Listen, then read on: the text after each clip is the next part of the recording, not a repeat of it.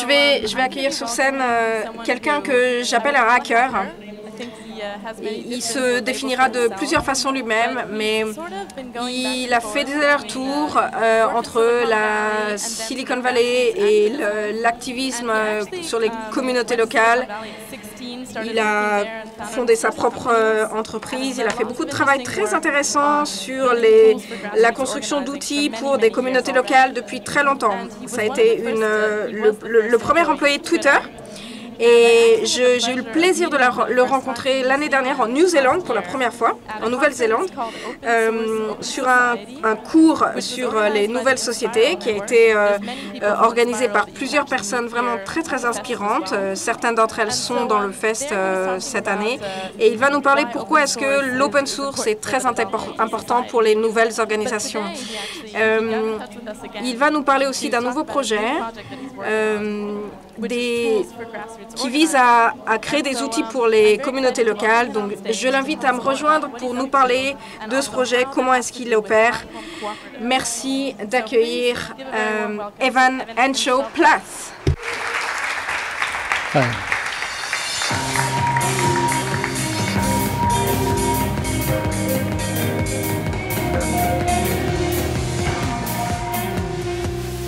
Hey Evan.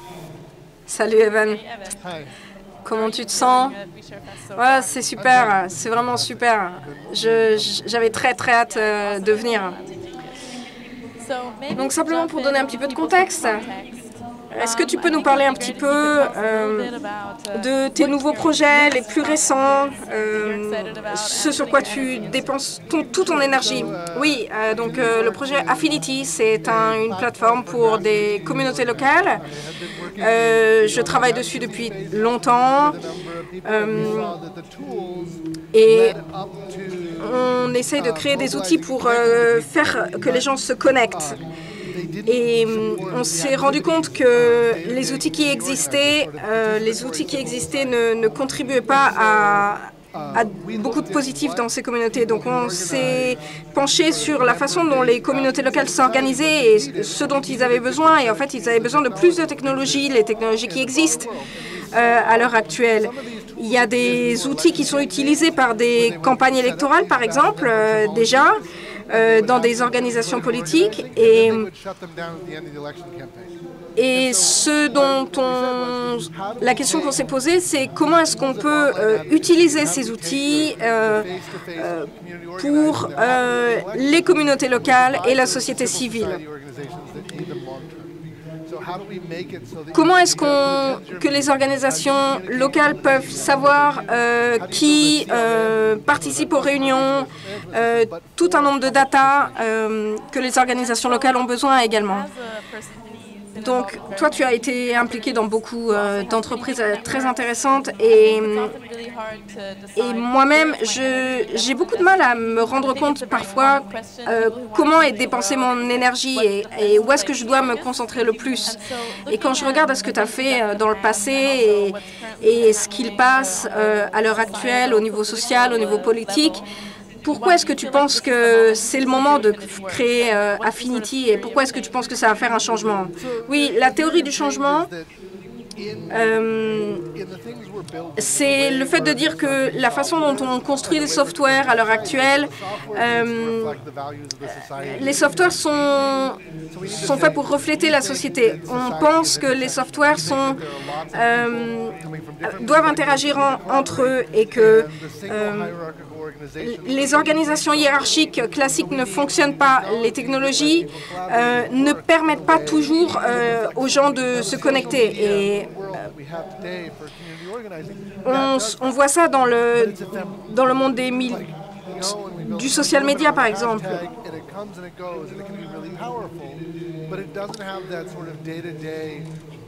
au niveau, euh, les mouvements sociaux, par exemple locaux, ne, sont pas très soutenus par un certain nombre de technologies à l'heure actuelle. Et comment est-ce qu'on peut faire ça? Comment est-ce qu'on peut améliorer ça? Comment est-ce qu'on structure une organisation qui va permettre à des organisations locales petites de collaborer avec des réseaux, des groupes, etc. Donc si vous êtes euh, euh, responsable d'une organisation, que vous voulez travailler sur une campagne, il faut connaître les gens qui travaillent travaillent sur des campagnes similaires dans d'autres endroits.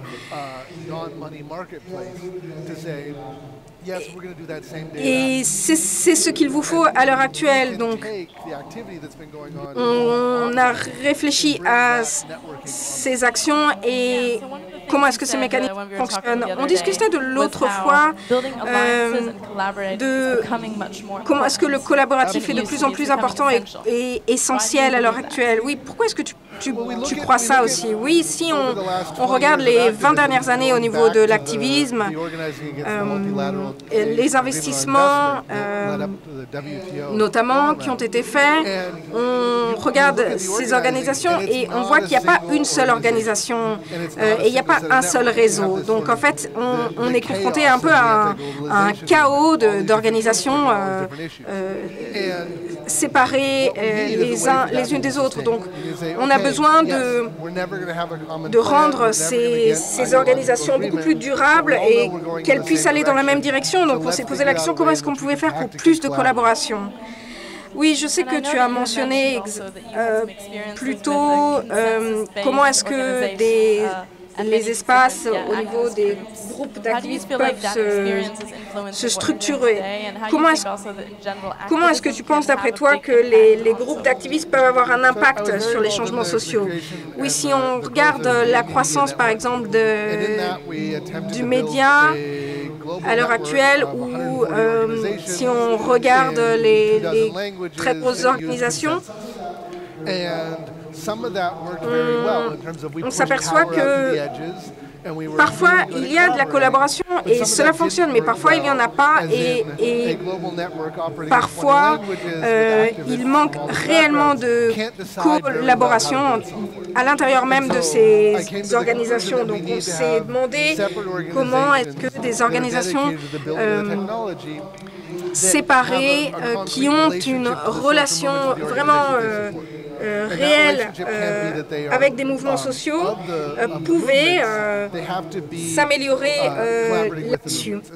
Affinity, par exemple, a été créé pour ça on a créé un business qui est coopératif, qui est créé par les, les gens qui travaillent à l'intérieur d'Affinity. Et donc, on a essayé de, de, créer une plateforme collaborative qui est durable. Oui, donc comme vous le voyez dans le titre, en fait, on veut aussi parler um, des, des, des plateformes coopératives. Euh, le WeShareFest est un, est un exemple assez intéressant parce qu'il y, a un um, certain nombre de gens qui se rencontrent aussi. Et on voit euh, beaucoup de, de, plateformes qui se créent ces dernières euh, années et il y a beaucoup, c'est assez très, il y a de nouvelles tendances qui se dessinent et je suis assez intéressée de comment est-ce que tu, tu vois ce, ce mouvement-là. Oui, cette idée euh, de coopérative de plateforme, on peut prendre euh, l'exemple, par exemple, de ce qui se passe euh, dans le monde de l'agriculture. Mais euh, dans le monde digital, par exemple, on a Uber, on a Airbnb, qui sont des plateformes qui fonctionnent en contrôlant le, le marché complètement. Donc, si tu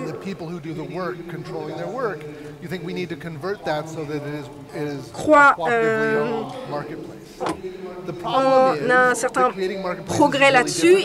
Il, faut, il faut opérer des changements dans ces, dans ces marchés. D'abord, euh, un certain nombre de travailleurs euh, qui bossent dans ces sur ces places de marché euh, ne se posent pas euh, forcément toutes les, les, questions. Par exemple, un chauffeur de Uber ne se pose pas la question du développement du, NAP ou etc. On est face à, à, des plateformes qui sont très traditionnelles, qui fonctionnent de manière très traditionnelle, personnel avec un système qui est ancien, qui est vieux et Et la Silicon Valley, par exemple, est, est prête à mettre euh, énormément d'argent dans de, dans de nouveaux modèles. Donc il y a des innovations assez intéressantes qui se développent à l'heure actuelle. Oui, euh, au niveau d'Affinity, on, a essayé de, de lever des, des, fonds, on a essayé d'aller voir des investisseurs, euh, euh, d'avoir des, des, fonds coopératifs, on a été voir des VC et aller voir des, des, personnes dans la Silicon Valley. Et ce qu'on s'est rendu compte, c'est que Beaucoup de gens étaient assez euh, intéressés par ces questions d'organisation, mais, mais le problème c'est qu'on construisait quelque chose de nouveau, on ne savait pas vraiment, on n'avait pas beaucoup de, visibilité sur le futur. Et, et, en fait, pour beaucoup de gens, on était vraiment trop loin euh, euh, de, du, du, système traditionnel. Donc, ensuite, on est allé voir les, les personnes qui travaillent dans l'économie euh, coopérative et, ils nous ont dit non mais là c'est trop coopératif donc on ne peut pas vous, pas vous soutenir là-dessus. Donc en fait on a été rapidement euh, bloqué au niveau des fonds euh, dans la Silicon Valley avec des gens qui étaient vraiment qui n'avaient qui avait pas du tout envie de, de s'engager par peur, etc. Et on a réalisé que ces individus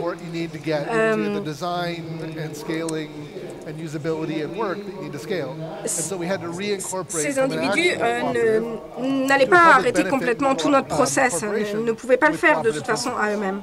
Donc on a réfléchi euh, autrement. Donc, au niveau de la mise en place, comment est-ce que, euh, comment est-ce que ça se met en place? Qu'est-ce qui est vraiment différent? Oui, en fait, euh, l'opération de ces plateformes sont, sont relativement euh, similaires aux plateformes traditionnelles. Donc, il, y a des, des, gens qui travaillent, ils ont un droit de vote, ils peuvent voter sur des choses, mais par exemple, si euh,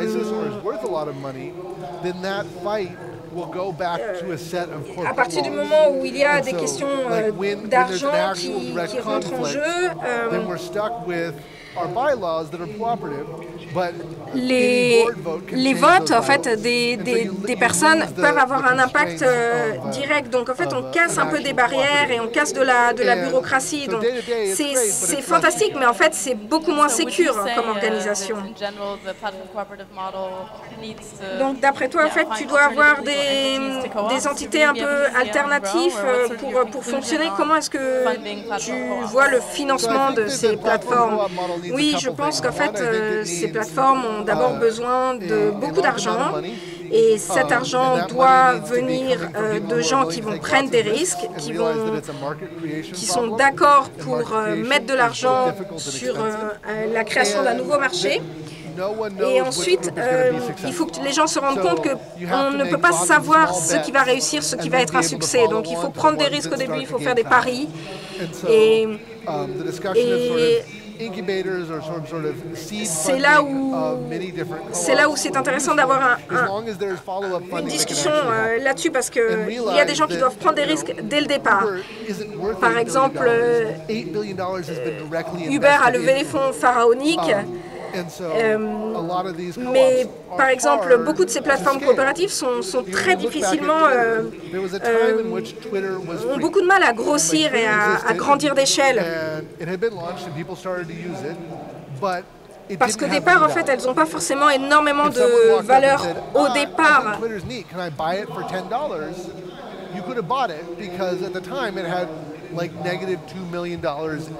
Si on prend des, énormes sociétés euh, comme Uber, elles ont eu des fonctionnements euh, complètement différents.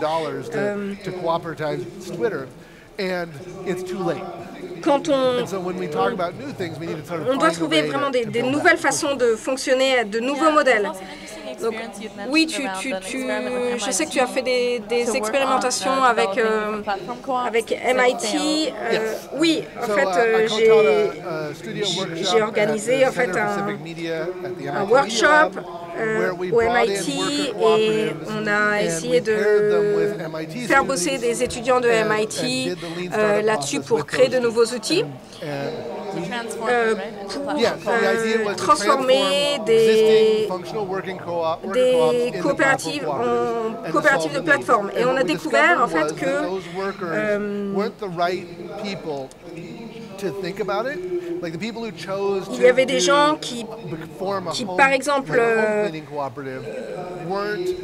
réfléchissaient de manière euh, assez différente euh, concrètement et au niveau du, de chaque journée, euh, de chaque journée. Donc, euh, en réalité, ça n'a pas très bien fonctionné. euh, L'idée en fait des plateformes coopératives, c'est que l'individu doit s'intégrer dans l'économie des plateformes avec, il doit amener différentes idées, différentes, différentes idées, différents projets, 60 mais or so cooperative workers in en réalité, euh, on n'a pas, on n'a pas toujours réussi à, à- à faire ce changement au niveau des individus. Quelle, conclusion tu dresses de tout ça En fait, peut-être euh, social enterprise space. on, devrait collaborer un peu plus avec des, les and personnes qui travaillent euh, dans les plateformes sociales, par and exemple, et qui investissent euh, um, les, les espaces sociaux et les intégrer dans notre, dans notre projet, dans notre recherche. Oui, euh, simplement, euh, Simplement pour rappel, on va faire un petit peu un petit Q&A avec euh, le public. Donc, euh, si vous voulez prendre la parole, on a juste besoin d'un micro. Il y a un autre sujet sur lequel je voulais discuter parce que tu mentionnais la valeur et je, je voudrais parler un peu de toutes ces entreprises qui, qui prennent ça euh, en compte. Blockchain, par exemple, euh, s'est intéressé à ces questions de valeur et de valeur d'entreprise. Et, et c'est intéressant de voir comment est-ce que les organisations peuvent imposer ça euh, en interne. On a beaucoup parlé de blo- blockchain dans les dernières euh, WeShareFest et je serais très intéressant de, je serais très intéressée de voir euh, quel est ton avis sur euh, là-dessus, sur euh, sur le rôle que le blockchain peut avoir dans ces plateformes uh, coopératives. a law in computer science Oui, euh, dans la, which, la uh, computer science, il y a, il y a- the il y a des lois en we fait sur lesquelles on peut s'appuyer. Euh, et quand And on regarde we look euh, blockchain, par exemple, You have to say euh, the technology les- that's created on voit que les technologies reflètent les institutions euh, qui sont très euh, les- institutions très à droite, euh, but there's a lot of embedded values traditionnelles, in etc. Et donc, euh, on peut avoir euh, une vue différente du monde. Et on peut se dire, euh, si tu prends l'interaction humaine, par exemple, et si tu, euh, si tu décides que la façon de voter va être différente dans ton organisation, dans ton entreprise. À ce moment-là, tu, tu, Tu- arrives au point où tu te dis que Euh, les, les hackers, en fait, peuvent amener vraiment euh, des, des réponses à des, des solutions à des at 4chan, problèmes. And 4chan created memes, which are amazing. and they Si on prend l'exemple euh, d'Anonymous, par exemple, euh, qui, qui est une plateforme absolument incroyable, Mais- on arrive aussi à des, à des résultats beaucoup plus négatifs, comme, euh, comme l'élection de Trump, par exemple, qui a utilisé euh, énormément de technologies. euh, et- et on se, on misogynist. se trouve face à des, organisations qui sont vraiment profondément misogynes vraiment très négatives. Donc, um, Je, pense que les, un certain nombre d'institutions humaines sont toujours, seront toujours nécessaires et qu'on ne peut pas tout mettre dans les mains de la, de la technologie. Il faut qu'on réfléchisse aux valeurs qu'on doit mettre euh, dans le processus et dans le mécanisme. C'est toujours euh, facile de, de se dire qu'avec la technologie, on va changer le monde. LSD would be used for elementary school and secondary school education. He thought that the best way of the future of education is everyone would just drop Il y a, acid every day euh, and they would des- learn des- des how personnes qui ont vraiment des idées, euh. Now, obviously, people use très à la marge concernant euh, l'éducation, par exemple. society, Mais but we don't use it in the classroom setting to learn. c'est And so it's assez easy to say facile de, penser que la technologie va, tout faire, mais happens. en fait, euh, quand, have to quand ça se passe, back il faut qu'on fasse the machine arrière et de, de réparer les problèmes Yeah, so you qu'on a causés. Donc, uh, not necessarily applicable to what you're Oui, doing right en now fait, and in the case euh, and how you structure your platform Cola.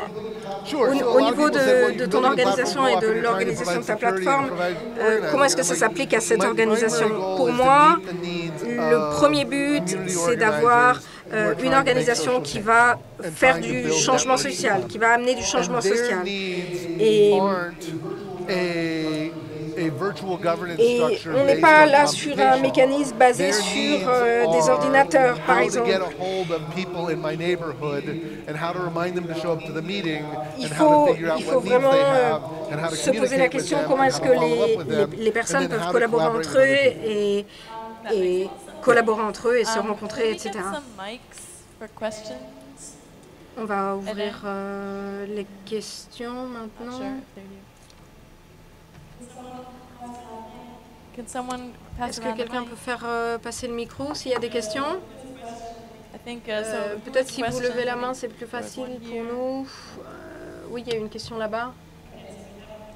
Ouais, donc on a quelques Okay, questions là. a few questions. Sorry for the not additional uh, advance warning.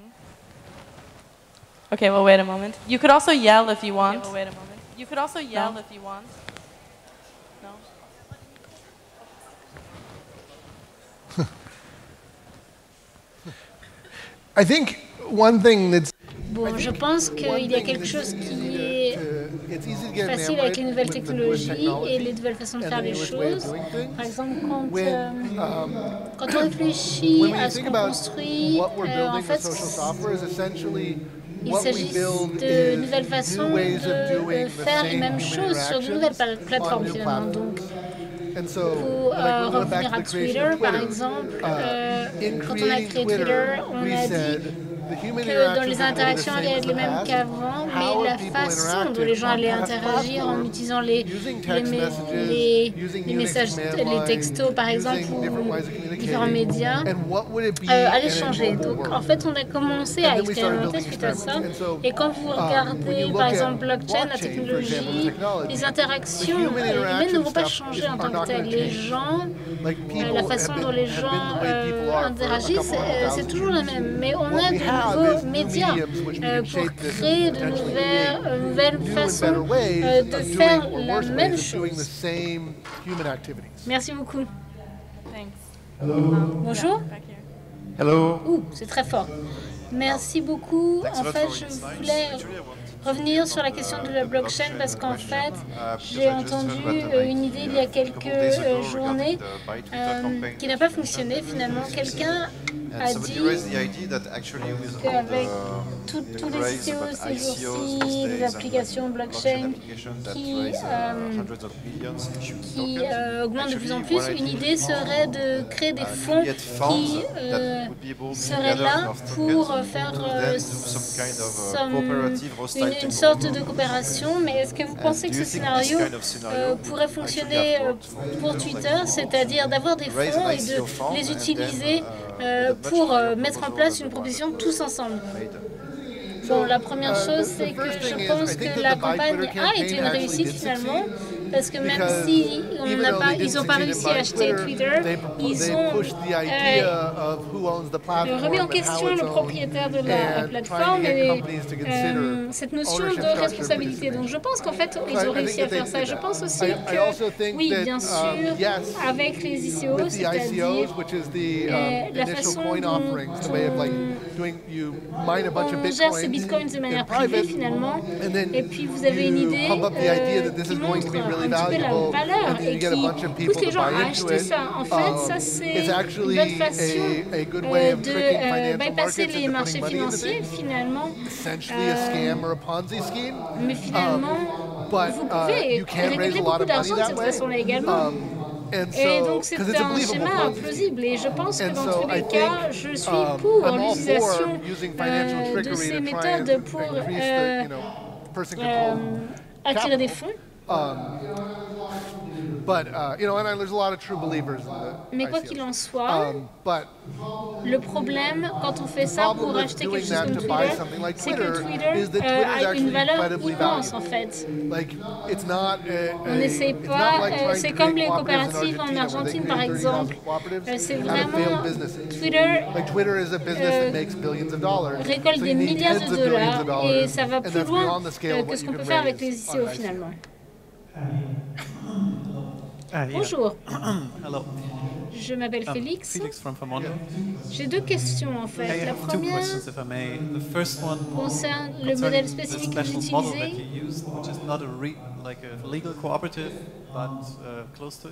Et pour moi, le problème principal, euh, c'est de créer finalement un business qui n'est pas corruptible, et qui ne peut pas être transformé, copié. Ça, c'est difficile. La deuxième chose, la deuxième question que j'ai concerne um, la question des fonds euh, dont vous avez parlé. Um, Et puis vous avez dit également qu'il y a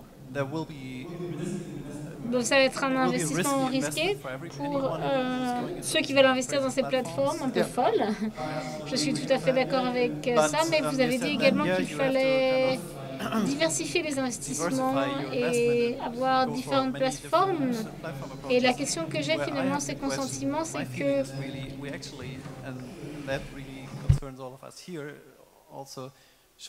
il y a un ou deux ou trois projets qu'on essaie vraiment de soutenir et qui n'essayent pas de 100 approches différentes qui ne vont pas fonctionner. Donc euh, pour moi, il vaut mieux vraiment choisir un aspect et aller jusqu'au bout.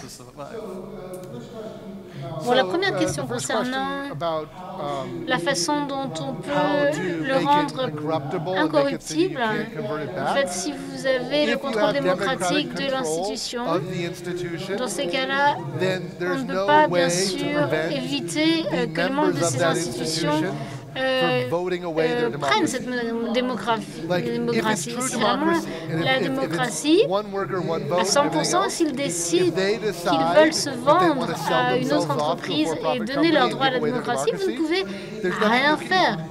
C'est pas la démocratie si vous ne pouvez pas en sortir en fait. Donc si vous regardez les euh, coopératives qui existaient en Yougoslavie par exemple, il y en avait qui étaient des vraies coopératives qui ont décidé de ne plus être des coopératives. Et donc je pense que c'est exactement la façon dont ça fonctionne. Il faut créer une coopération.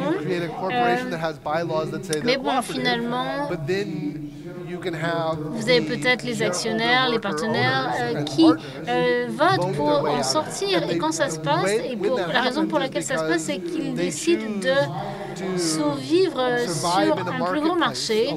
Ils ont besoin de ces ressources pour faire ça. Donc, euh, Twitter euh, en fait, il y avait une attaque du marché qui essayait de récupérer les utilisateurs de Twitter. Donc, ils ont essayé d'être aussi ouverts et coopératifs que possible parce que euh, il y avait cette situation. Et tant qu'on a ce système de marché, vous aurez des plateformes et des coopératives qui euh, auront cette tentation finalement et le risque d'être fermées finalement.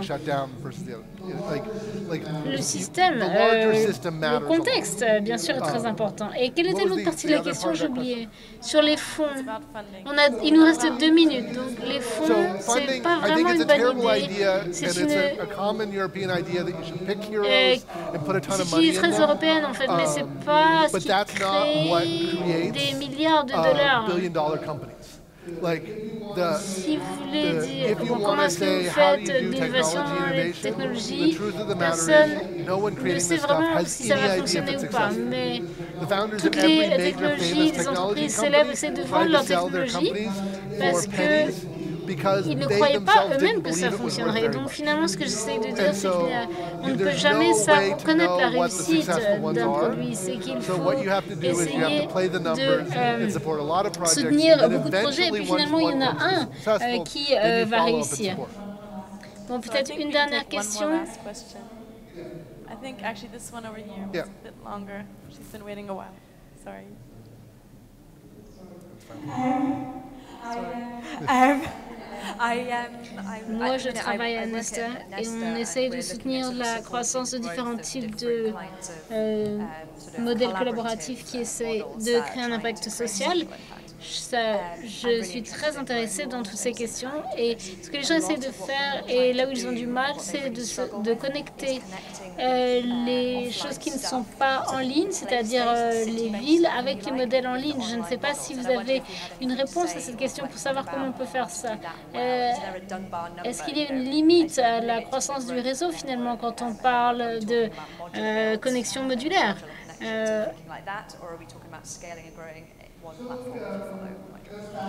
Bon, ça c'est quand vous regardez la façon dont les plateformes euh, ont été construites et comment elles croissent. Elles ont presque toujours commencé dans des communautés petites et limitées. Vous ne pourriez pas, vous ne pouviez pas euh,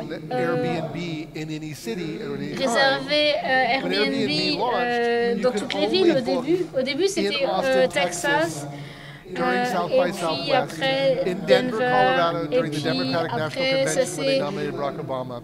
Like, there was like Et au début, c'était pendant deux semaines, pendant deux semaines pour telle raison, parce qu'on savait qu'il y avait un événement, un besoin particulier dans le marché. Euh, donc c'est comme ça que Airbnb, euh, Airbnb a commencé. Donc, ce dont vous avez besoin, c'est de dire, on va avoir une plateforme plus étendue, mais il faut Commencez avec quelque chose de très petit qui fonctionne. Et après, vous pouvez euh, l'étendre. Et puis, les opérants disent, on veut euh, être en compétition avec Uber et Airbnb, donc on doit faire ça partout, il faut qu'on soit très gros, on a besoin de beaucoup de fonds, etc. En fait, vous voyez la façon dont ces grandes entreprises qui ont changé l'économie du monde ont commencé. Elles ont commencé dans ces tout, tout, tout petits endroits. Euh, Airbnb, c'est vraiment des des gens qui avaient euh, vraiment un matelas euh, dans leur salon. Ça vous montre un petit peu la taille. Vous savez comment ils l'ont fondé ils ont printed new labels to cereal boxes and sold these things called Obama O's. Ils ont euh, finalement euh, essayé de faire un petit peu de pub, mais ils ont commencé, ils étaient tout tout petits, et puis ils ont grandi. Euh, donc quand on fait de nouvelles plateformes qui sont connectées avec des communautés, uh, il faut qu'on voit comment on peut vraiment revenir à ce micro-niveau et avoir un système viable. Thank you. Euh, merci beaucoup. C'est une très belle façon de euh, finir cette session. On va l'appliquer à nos propres projets. Donc, je pense que vous allez rester pendant les deux jours jusqu'à vendredi. Donc, vous aurez d'autres occasions euh, de parler dans les fiches ou ailleurs. Donc, merci beaucoup d'avoir été ici. Et profitez bien de la session suivante. Merci beaucoup.